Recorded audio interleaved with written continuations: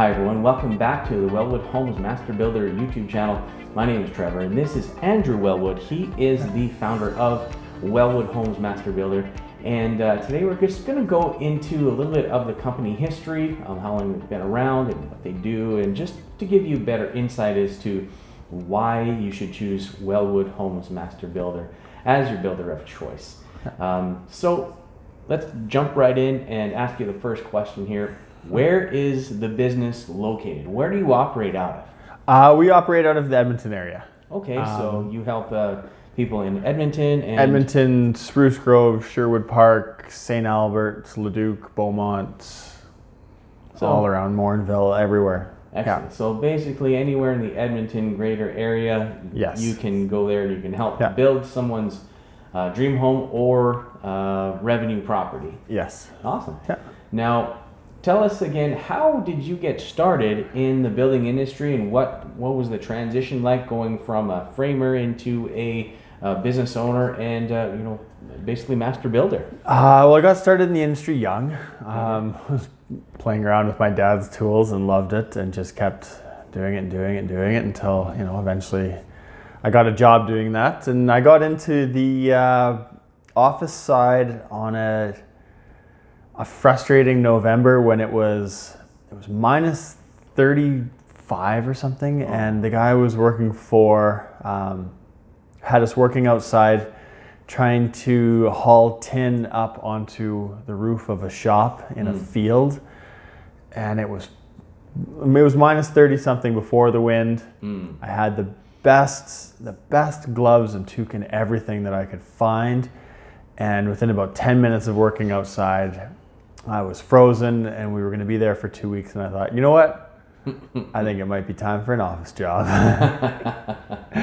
So threw together uh, a resume um, and yeah i got uh, I got picked up by a home builder that uh, took a great chance in me and i'll forever be grateful for them for teaching me teaching me how it went they took a great chance i had no office experience just a framer and uh, you know good knowledge in the in the construction industry but they brought me in put me in estimating moved me up to project management Yeah. and uh, yeah gave me uh, they gave me my shot and i'll uh, always be thankful for them Awesome. So, um, what was the the big deciding factor for starting Wellwood Homes Master Builder? Uh, that's that's my stubbornness. that's seeing seeing an area that uh, that they weren't going into that I really wanted to go into. Um, they were uh, they flirted on the idea of doing customs and changes, but they were a, um, a spec builder, so they had their models and they liked to build their models. And I really wanted to do more more custom and more out on my own, and you know more more management with the with the client that involved changes and price changes and changes on the fly, and Yeah. that uh, that's not a that's not, for for a spec builder that likes to have everything down to the penny prior to construction. That really was not their way of doing things. Yeah, and you know, if a um, major builder out there, they they really want to manage all their costs and their time, and they know how much they, they should be making off of each house. Everything is accounted for, and it's Yeah. really we don't like to say cut, cookie cutter, but it's what they are. They're really cookie cutter homes, so they can you know make building them down to a science Yeah. Whereas you have taken the uh, turn as to taking a custom home, applying principles of good um, project management to make it go just as fast and smoothly as a spec home. Yes. That's awesome. Yeah. Basically. Now, um, how long has Wellwood Master Home, sorry, Wellwood Homes Master Builder been in business for? Uh, we've been in business for ten years. Excellent. Yeah. So, for the 10 years you've been, uh, did you start out doing customs or did you start on like small renos? Like, how did that happen? Uh, no, I, I started off with a spec home Mm-hmm. um, with some business partners, and we did that, and that went uh, that went well. That was a great learning experience, you know, for someone that thought they knew everything and had managed managed multiple homes for this other home builder. Uh, it was definitely an eye opener on how how things go. Um, and then yeah, parted ways with the partners, did a bunch of framing, and then uh, yeah, then started doing some more customs. Excellent. So, tell us how that first one went. Like, What were some of the pitfalls, or what, what were the biggest takeaways from that first experience? The biggest takeaways. Uh, well, one of the, first off, I partnered with two people, Mm-hmm. two other people. So there was one who was mostly hand, or was all hands on. Okay. Um, I realized I know a lot more hands on than uh, than he did, and then the other one was uh, the banking and financial, and uh, he's now a home builder, builds great homes. Um, you know, unfortunately, I think I did my job a little too well. I showed him how to do it, and he thought, you know what, I'm going to do this on my own for the next one. Trained the competition. Yeah, I trained the competition. I trained him well, and now he does a lot of infill homes. Um, yeah, no, it, I, I didn't realize how much power and how much changes a client can have um, till you give them the option to make all the changes and the power. So that that business partner had all the uh, all the authority on what was going to happen, and we changed a few times. So Hmm, Okay. Yeah. Awesome. So, what is the biggest problem that you solve for people? Uh, the biggest problem that we solve, we help them get custom homes at um, at an affordable price. Like we help them, we help work within their budget to get them what they want. Uh, we help them manage what they want. We we help involve the client in the building process so that they can feel they can feel at the end of the day that they know they know what's in their home. They're not worried, you know, did I get a lemon? Is this, you know, one of those homes that's going to fall down? You know, is it is it insulated with empty Tim Hortons cups or something like that? Um, they're involved in the process. At the end of the day, they know they're living in a quality home because they saw it go up firsthand Excellent. and so, were involved in it. Perfect. So they get more involvement in the process. Yeah. They get more say in what happens, and because of your expert skill and management and great Yeah. checklists, they get the, the project built faster than even sometimes they would get done by a, a, a large um, spec home builder. Yeah, that is one thing that uh, that I was able to take away is um, is how to build a home fast, how to build it. excuse me, because if they're paying, if the homeowner's paying the carrying costs, they don't want they don't want it sitting there for 12 months, especially if they're living with their in-laws or they're renting. You know, it, it all costs money, so they want to be, they want as soon as they decide to go, they want to go. You know, they might drag their feet a little bit to start, but once uh, once we put a shovel in the ground, it is go go go. People want it done, and that's one thing we're able to uh, we're able to attain. Right. So you're able to answer all their questions.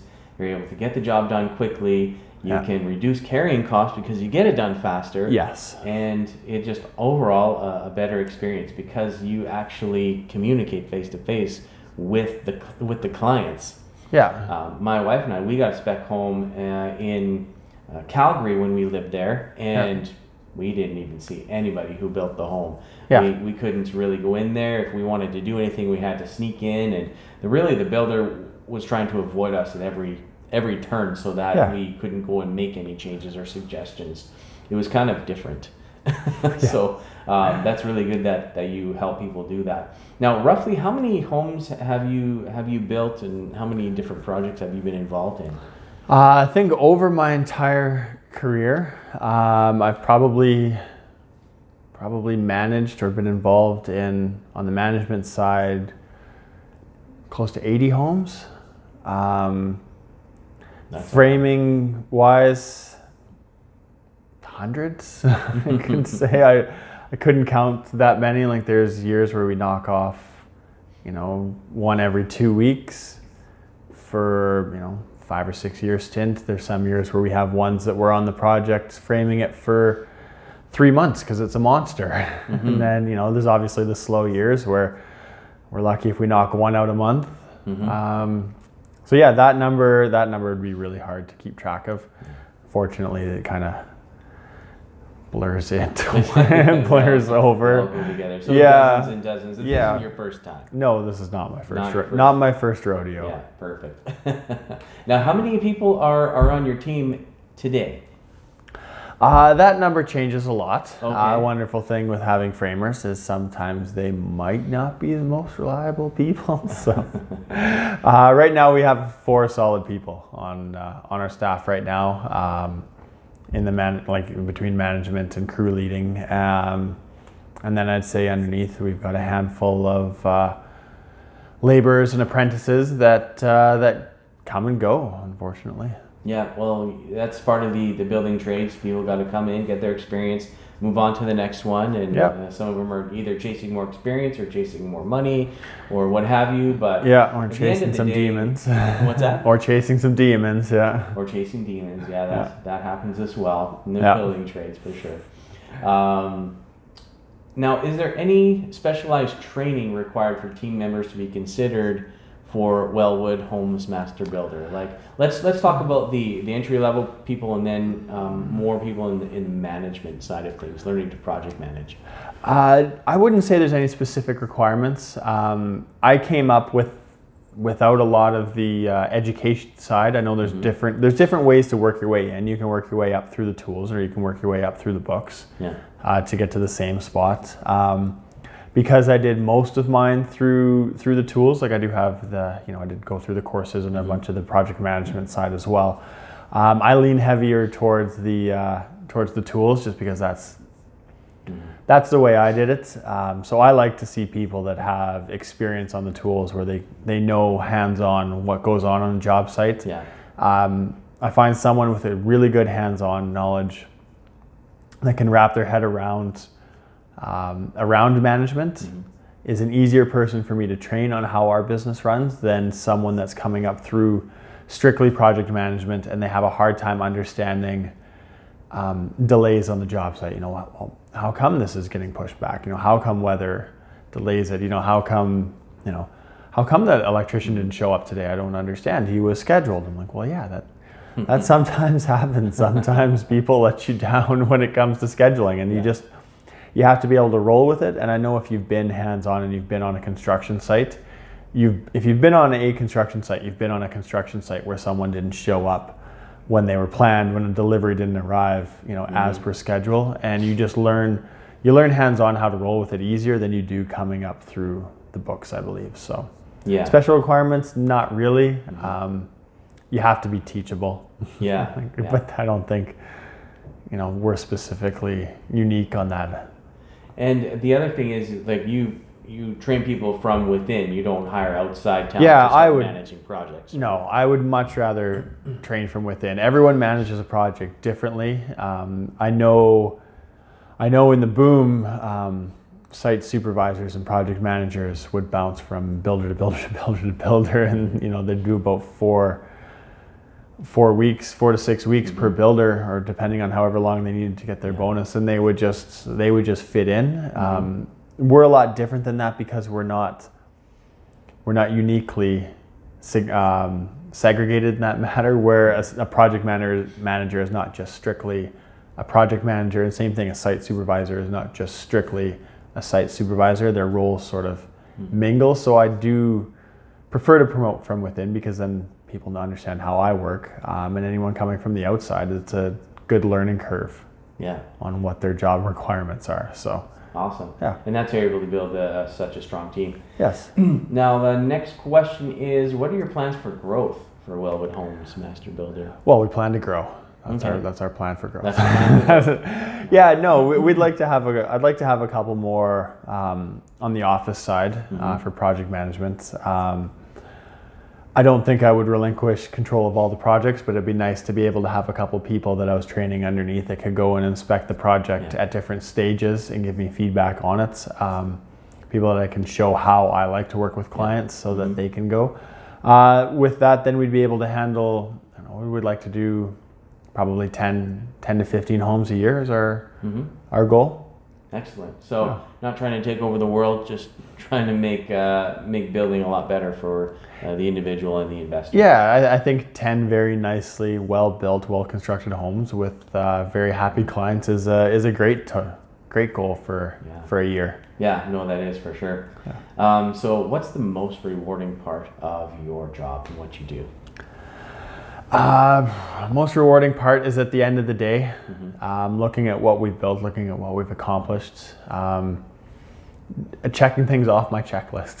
satisfaction yeah, the the satisfaction of checking it off is, is looking at the checklist and going, you know, plumbing rough in, done, you know, or Mhm. we're ready for insulation, we're ready for boarding, and then, you know, showing up the next day and seeing, you know, the skeleton of the house covered in drywall and, and seeing how it's, you know, how it went from either an ugly condemned knockdown or, you know, just an empty, an empty space, an empty mm-hmm. field in an acreage to, you know, you get the foundation, you get the framing, you start, you know, siding starts to go up, you start to see some color, you start to see some, some definition. Like that, that's the most rewarding part is seeing all the different stages go Yeah. through. So. Awesome. Well, thanks so much for sharing that with us, Andrew, and learning a little bit more about Wellwood Homes Master Builder. And if you guys are interested in pursuing building a home or you have questions about how you can get started with Wellwood Homes Master Builder, just visit the website at wellwoodhomesmasterbuilt.com and you can get in touch with Andrew there and he will be glad to answer any of your questions and set up a meeting and uh, see what the possibilities are with uh, building a forever home or an investment property. Yes. And that's all we've got for today, so we'll see you guys next time.